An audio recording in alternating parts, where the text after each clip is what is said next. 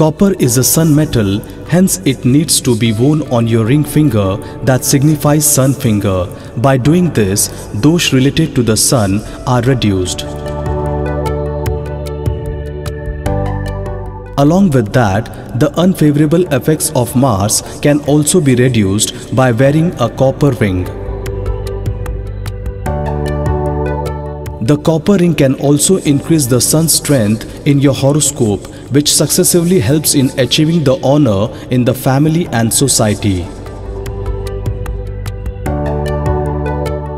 From a scientific point of view, the medicinal properties of copper are exposed to our body and the body's blood is purified by it.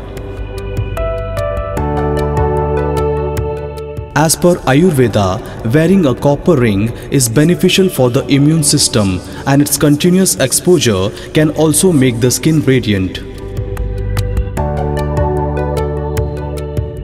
Copper is also helpful for all the stomach related ailments like stomach ache and indigestion.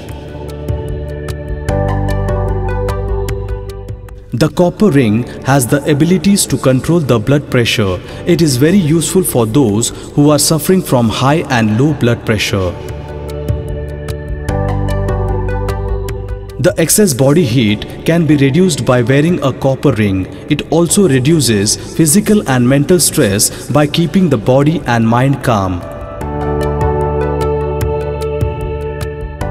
To know such interesting facts related to Indian culture, keep watching Artha channel.